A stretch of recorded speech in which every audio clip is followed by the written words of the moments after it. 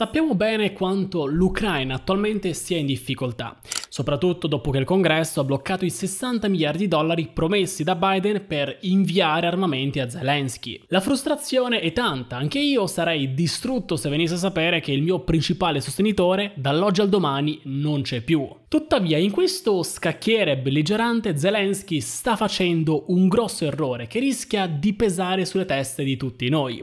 A cosa mi sto riferendo? Al fatto che nelle ultime settimane ha intensificato gli attacchi sulle raffinerie russe. Infatti Biden, già sotto pressione per le elezioni in arrivo, sta cominciando a perdere la pazienza e infatti ha invitato Kiev a smettere subito con questi attacchi per via di tutta una serie di conseguenze che vedremo tra poco.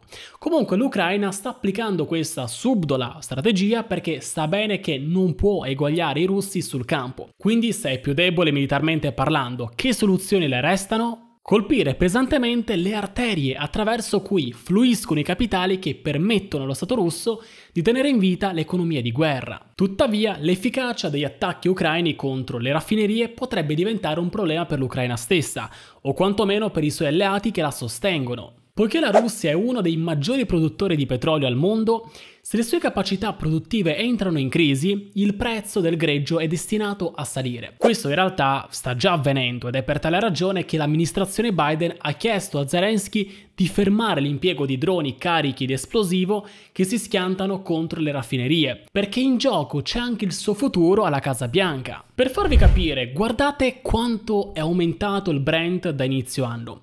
Dai 76 dollari ci stiamo avvicinando pericolosamente verso la soglia dei 90 dollari parliamo di un aumento di circa il 10%. È chiaro che se la materia prima che fa girare l'economia aumenta di prezzo, automaticamente questo rialzo si ripercuote su tutti gli altri settori economici. I costi di importazione salgono e questo diventerebbe un grosso problema soprattutto per noi dell'UE considerando che il nostro settore industriale già sta collassando. Quindi gli attacchi dell'Ucraina con droni potrebbero sì ridurre le entrate nelle casse russe, ma potrebbero ridurre anche quelle nelle nostre tasche, perché un'inflazione persistente, accompagnata da alti tassi di interesse, ci trascinerebbe direttamente nel dirupo. E a questo punto l'ipotesi di fornire corposi fondi a Zelensky si assottiglierebbe ancora di più. Attualmente le banche centrali sono molto sensibili. Sembra che stiano pianificando i primi tagli al costo del denaro a partire da giugno.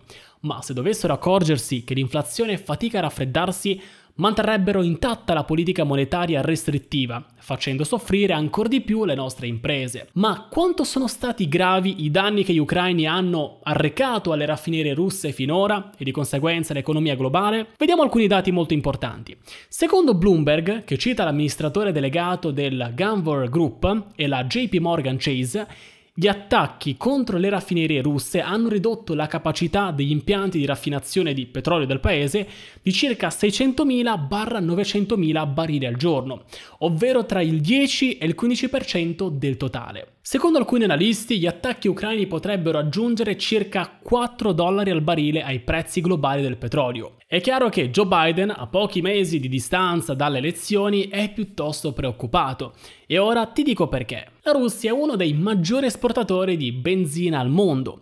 Nel 2023, su 44 milioni di tonnellate di benzina prodotte, ne esportate circa 5.8 milioni, circa il 13% del totale. Quindi la Russia, essendo uno dei maggiori esportatori di benzina, ha un ruolo significativo nel mercato energetico globale. Pertanto, qualsiasi interruzione della sua produzione di benzina può avere ripercussioni significative sui prezzi. Difatti questo è proprio ciò che sta accadendo, in quanto i danni causati da droni ucraini stanno riducendo le capacità produttive della Russia. I prezzi della benzina negli States stanno salendo di nuovo alle stelle. Pensate che dall'inizio uh, degli attacchi alle raffinerie si è registrato un balzo del più 40% e i cittadini americani se ne stanno accorgendo nervosamente. Vi ricordo che negli States il 70% dei veicoli è alimentato a benzina. Comunque io una cosa di cui non mi capacito e come può la Fed pensare di tagliare i tassi per tre volte quest'anno ed esserne così sicura quando l'inflazione core è ancora al 3.8% e soprattutto ci sono innumerevoli incertezze sul mercato petrolifero.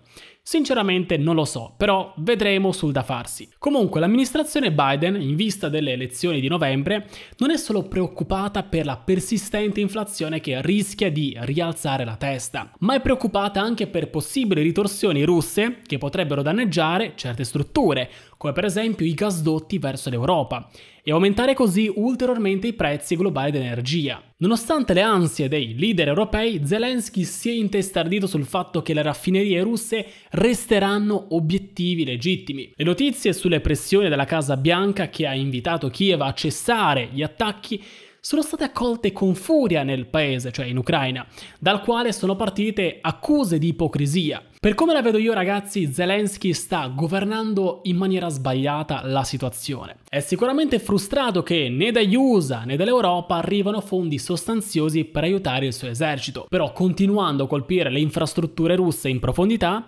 non farà altro che soffocare il desiderio dei leader occidentali di aiutarlo se la crisi energetica dovesse infuriare nuovamente. Ora ragazzi, dato che siamo in tema petrolio russo, vi devo riportare un'altra notizia prima di salutarci. Allora, per oltre due anni Cina ed India hanno acquistato una marea di greggio russo, in quanto Putin ha deviato i flussi dall'Europa verso i due giganti asiatici, che ora rappresentano circa il 90% delle esportazioni del Cremlino. Tuttavia ora l'India ha cambiato marcia ed improvvisamente rifiuta il petrolio russo.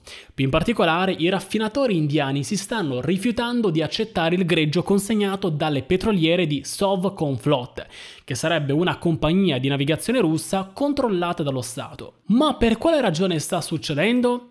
Beh, per via delle sanzioni secondarie annunciate da Joe Biden, che mirano a colpire non solo la Russia, ma anche i paesi che mantengono legami economici col Cremlino. Le sanzioni secondarie possono avere un impatto significativo sull'economia di un paese, limitando la sua capacità di fare affari con entità statunitensi e potenzialmente isolandolo dai mercati finanziari globali. Per cui se gli States decidessero di sanzionare le raffinerie indiane, l'economia indiana subirebbe gravi ripercussioni. Per questa ragione l'India ha deciso di fare un passo indietro e prevenire potenziali colpi inferti contro di essa. Infatti in questo grafico possiamo osservare come le barre nere che rappresentano le petroliere di Sovcomflot verso l'India si sono drasticamente ridotte a marzo 2024. Ma per caso queste decisioni intraprese dal partner indiano faranno tremare la Russia?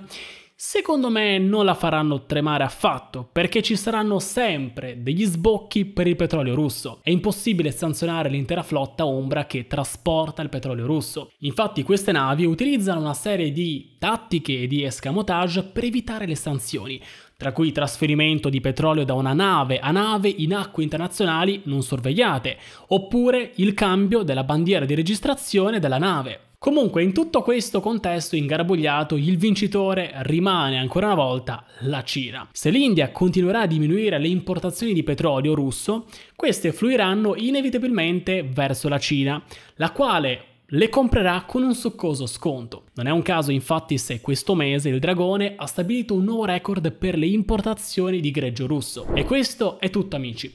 Fatemi sapere nei commenti se anche voi come me siete d'accordo sulle mosse di Zelensky. Una buona giornata, a presto!